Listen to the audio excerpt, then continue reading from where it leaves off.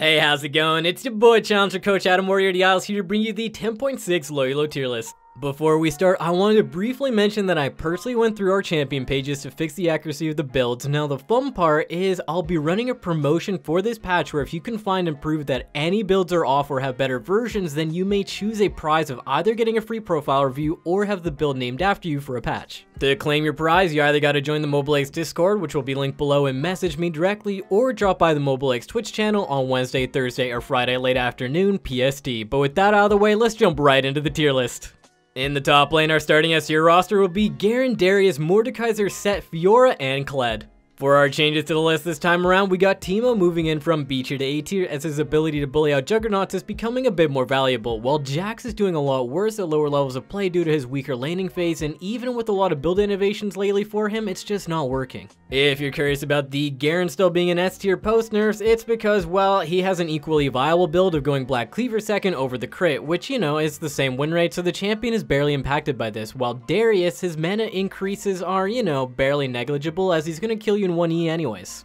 For more important changes, we got Admiral Kled moving in from A tier to S tier. Kled has been falling behind the meta a bit until the to turret plates and Titanic Hydra kicked in, which allowed him to really snowball in the early game while maintaining his carry potential during the mid game. And in case you forgot, he's also got that disgusting 60% grievous wounds when his Q actually pulls someone, which is a big deal in top lane as it allows him to win trades versus the other Conqueror abusers as well as champions who rely on healing to extend trades like Darius or Vladimir. The only real downside to picking up in the current meta is how he's hard countered by Fiora, but you know, that's what your one ban is for anyways. And when she's out of the way, you can collect your LP versus pretty much any other top lane champion, including abominations like Sett or things like AA Trucks. We also happen to move my boy Kayle up from B tier to A tier this patch as a nice counter to the large amount of melee champions. Tired of losing top lane to juggernauts who just run at you like Mordekaiser Garen or especially Sett? Maybe not a fan of dying 100 to 0 to tanks like Ornn or Maokai? Well, if you need a counter to these champions, Kayle can do it. Now, I'll be honest, she will still struggle pre-6 versus those matchups, but once you get that ranged auto attack at level 6, she becomes extremely strong versus them and is even considered one of the only counter picks to Sett in competitive play. The reason she does so well right now is, well, you know, tanks are common who don't have a lot of damage to kill her, and juggernauts are also super common in the top lane who don't have the mobility or range to punish her which allows her to safely scale until 2 or 3 items at which point she just takes over the game both in teamfights and split push. The Urgot one will be the last change to the top lane list as we are moving him from B tier to A tier thanks to the buffs that he received this patch. Small CC duration increases like these are often scoffed at by the community but I will always remember the day Elise Cocoon duration was increased by 0.35 on patch 5.14 and her win rate went up by around 3% making her a broken tier jungler and I promise myself that never again will I make fun of that kind of buff. What this means for Urgot though is that he is more consistently able to get his W damage off or combo into his R which should let him bully melee champions a bit easier and when you combine that with the changes to Death's Dance he'll be incredibly hard to kill. It's one of his core items, and yes, he will do a little less damage as it has less AD, but because he's got a shield, the extra resistances become so much more useful, and so we believe that he will make a small comeback into the meta. In the jungle, our starting S tier roster will be Master Yi, Trundle, Amumu, Zac, Warwick, and Shyvana. Further changes to the list, we have Graves moving from B tier to A tier as he's been performing a lot better recently, even able to carry Tarzan to 1 on NA and is quite versatile with a Bruiser build or his one-shot Dark Harvest lethality setup. Ekko, at least in lower elo, is doing worse comparatively to the other S tier champions who are pretty monstrous in win rate and play rate so we moved him down to A tier for now until some of them are nerfed. Jax Jungle did okay for a patch after the overbuff Cinder Cinderhulk came in, but then people remembered he kinda sucks, and even the Bruiser item buffs were not enough to keep him in A tier, so we moved him down to B tier. Speaking of B-tier champions, Hecarim received buffs to his engaged potential in his R this patch. The Clip Clop champion is doing a lot better in low elo as of late, and with the CC duration increase, his ability to duel or engage fights on immobile carries who lost their flash is gonna be a lot better. Not to mention, he is a potential user of the new Death Dance, which could give him a little extra carry potential as he does pretty decently with AD. This is why his warrior build is doing better in terms of win rate compared to his Cinderhulk one, which you know is still viable, but if you're picking Hecarim to be a tank, then I kinda feel like you threw a champ select anyways and should have picked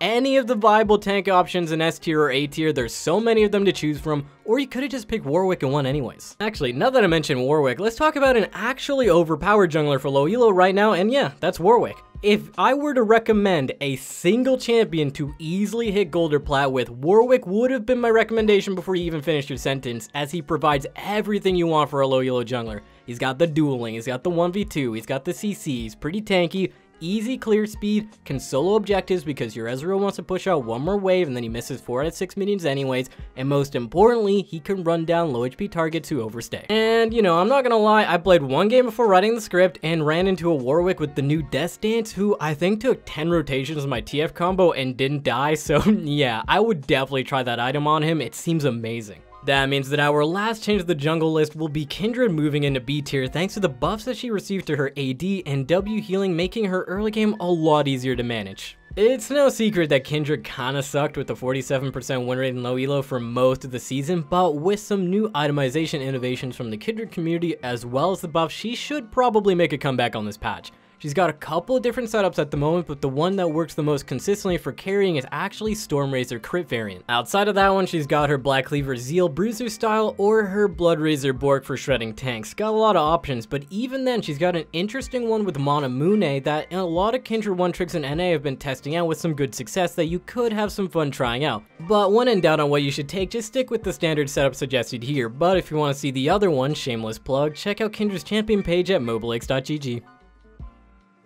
Moving down to the mid lane, our starting S tier roster will be Diana, Fizz, Ekko, and Katarina. There will be no changes to S tier this time around, but we do have Xerath being added to B tier thanks to his buffs, while Zilean and Mordekaiser are being dropped from A tier to B tier as they're just mostly counter picks in this meta while having super low play rates, though I will advocate that Zilean is a sleeper OP champion in competitive play and no one can tell me otherwise. Our other changes include moving Veigar, Vigar, Vigar? I, I don't know how to pronounce them, from B tier to A tier as the buffs he received to his AD as well as the base damage to his Q should help him stabilize his early game. I've actually played him over the years because, you know, I'm an Opto wannabe, but due to his terrible auto attack animation or missing his Q last hit by like 5 HP not getting my stacks, so I'm not gonna lie, I get a little frustrated at missing that CS and that's because he's a champion who pretty much has to have perfect last hitting so he can impact the game quicker due to his terrible early game. These buffs might seem minor, but they should help him scale a little faster and a little more consistently, which is amazing for a champion who is so good versus dive comps or melee champions. And you know, he's got the cage where he just traps the animals like Garen Mains inside. So good for team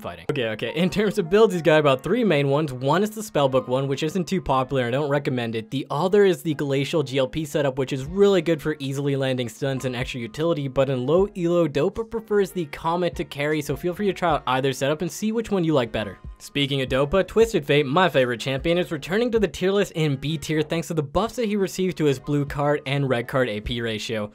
I actually couldn't help trying this out for myself before making this video, and let me tell you, the buff feels really noticeable. On 5 items, I had a Gromp for 2.8k damage on a blue card, so, you know, after seeing that, I strolled over, ulted to a Jhin who was farming at around 70 to 80% HP, hit him with the blue card salute, and it actually one-shot him, I just couldn't help laughing. Even during the split pushing game, I felt like I was just killing towers so much faster. This buff really gave TF a lot of options in the late game, and I'm really happy about it because it felt like his late game was a little lackluster in this meta. In terms of item builds and setups, he's got a lot of different ones, but I'm going to suggest the one I think is best for carrying in low elo, and it's the AP Ignite Electrocute Burst version, which goes well with the AP ratio buffs this patch. Our last change to the mid lane list will be moving Talon from B tier to A tier. Now, normally, despite how well he does in high elo, AD assassins like Talon or even Rengar don't do well in low elo unless you're smurfing because they require you to snowball and end the game really quickly before they enter late away by trying to dive the backline 1v5 in a team fight. But this doesn't appear to matter as snowballing side lanes is such a valuable asset or even snowballing the jungler with how strong the S tier top laner ADCs are at carrying team fights that as long as Talon gets his roams off,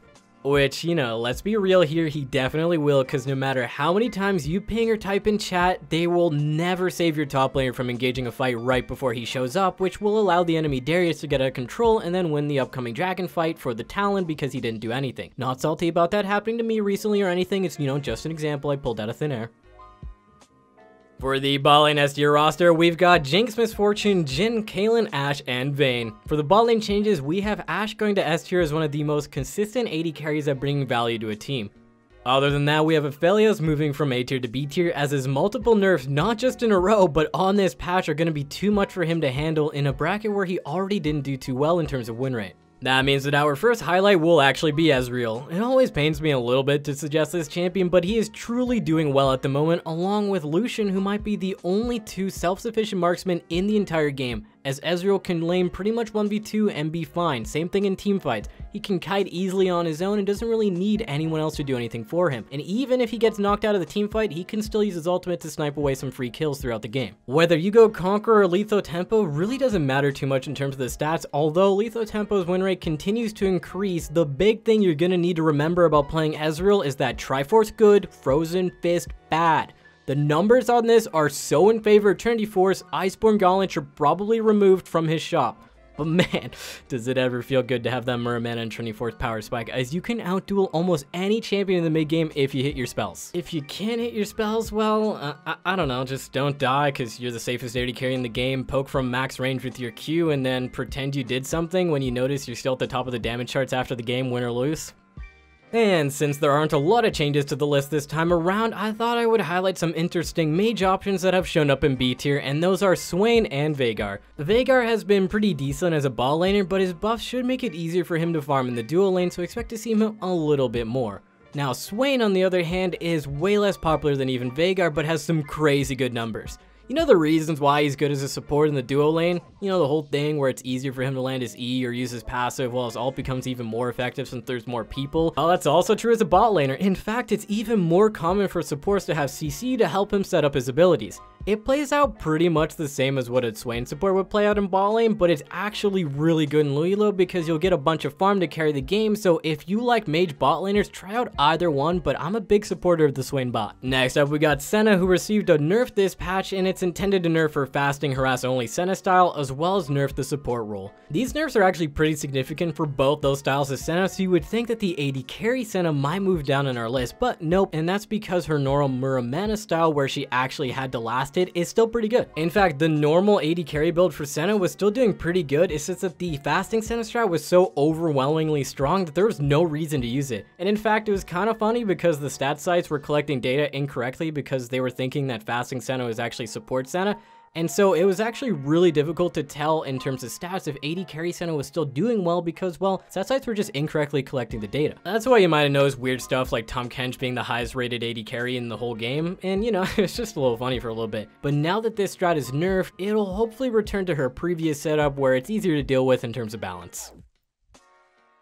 And lastly, our support S tier roster will be Janna, Blitzcrank, Leona, Sona, Nautilus, and Nami. For the support changes, we have Nautilus moving from A tier to S tier, rejoining Leona as the engaged power couple on the Rift. Xerath, thanks to his buff, will move into B tier as a viable mage support option, but Senna, due to the nerfs to her mist scaling and ability to gain stacks, will drop from S tier to A tier which you know was done to both nerf her as a support and the harass only Senna bot style which was really annoying to play against. Shaco with the increase in enchanter supports along with a small nerf is doing worse in the support role so we dropped him from A tier to B tier. Don't worry, he can still be used as a counterpick to Nautilus or Leona, just you know don't go around blind picking him, it's not going to go very well for you. Speaking of enchanter picks, we got Sona moving from A tier to S tier in the low elo list. What did I tell you last time? Whenever they buff her movement speed, this champion's win rate just gets out of control, which it's roughly at 54% win rate right now, but it's got a low play rate of around 3 to 4%. So we held off on moving her to S tier until this point, especially because she is still vulnerable in lane to engage champions or being camped by the jungler. It's just that if the game lasts too long, which is more common in low elo, or she gets out of the laning phase without feeding, then her team fighting and scaling presence is really powerful powerful, and since she happens to be a counter to any other enchanter support because of that, she does have a bit of an easier time in this meta. Now for her build, the one we showed you here is her standard setup, but if you happen to get a bunch of kills early while you were quote unquote helping secure them, then you can opt to build AP items like Lichbane to help carry because she does do a lot of damage with high AP.